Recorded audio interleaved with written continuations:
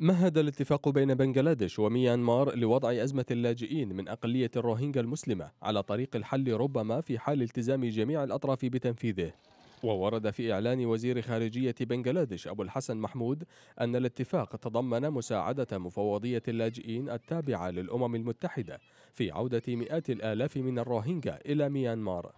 وبحسب البلدين فإن عمليات العودة من المقرر أن تبدأ في غضون شهرين على أن يتم السماح فقط للروهينجا الذين يقدمون وثائق هوية سبق وأن أصدرتها الحكومتان بعبور الحدود. لكن منظمات إغاثة وجماعات مدافعة عن حقوق الإنسان طالبت بوجود مراقبين دوليين لتأمين عودة الروهينجا إلى ميانمار. وقال مسؤولون من بنغلاديش إن الروهينجا سيبقون مبدئيا في ملاجئ أو معسكرات مؤقتة نظرا لتعرض معظم قراهم للحرق بسبب أعمال العنف.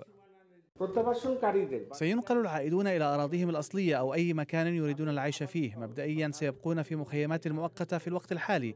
واتفق الطرفان على استكمال العملية خلال فترة زمنية معقولة. وفي حال اندلاع أي مشكلة خلالها فستعمل بنغلاديش وميانمار على حلها بالحوار.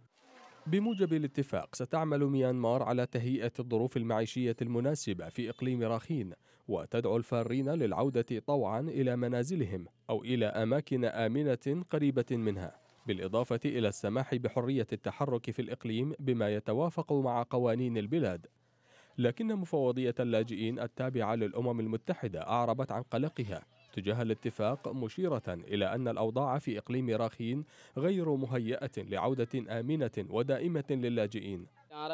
ما أريد قوله بشأن الاتفاق إذا كانت الأمم المتحدة والدول الأخرى التي تتحدث عنا ستناقش إرسالنا والاعتراف بأننا روهينجا فإننا سنعود وإلا فإننا لن نعود.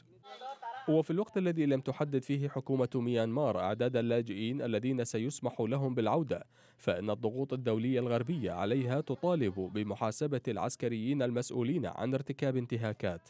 ووصفت وزارة الخارجية الأمريكية عمليات جيش ميانمار في إقليم راخين بأنها تطهير عرقي. وحث وزير الخارجية ريكس تيلرسون ميانمار على القبول بتحقيق مستقل في هذه الادعاءات.